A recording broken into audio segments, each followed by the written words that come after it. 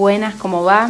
La verdad es que la cuarentena la vengo llevando dentro de todo bastante bien, dentro de lo posible, dentro de este nuevo mundo que nos toca vivir un poco, un garrón, pero bueno, es lo que toca y dentro de esto que toca trato de ponerle buena onda, música y, cocina y amor.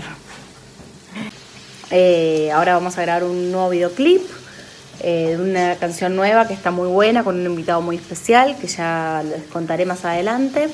Así que preparando el, eh, el lanzamiento de este nuevo tema.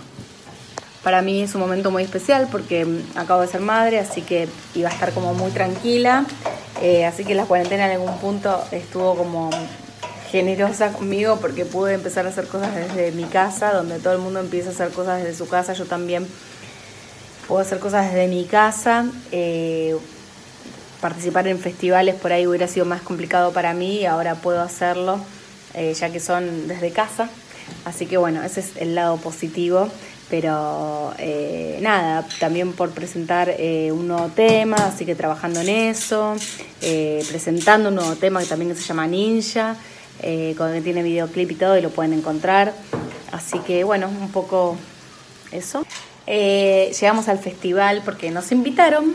eh, Santi nos invitó al festival. eh, nada, contenta de, compartir este festival con un montón de artistas que admiro, que me parece que está buenísimo, que están en una movida al igual que yo. Así que nada, contenta y disfrutando de participar en un festival como el de Billboard, que es un medio muy lindo e importante en este país.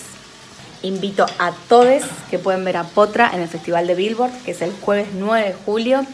Les mando un beso grande a Deja Vu, Rosario, mi ciudad que amo. Potra, con amor.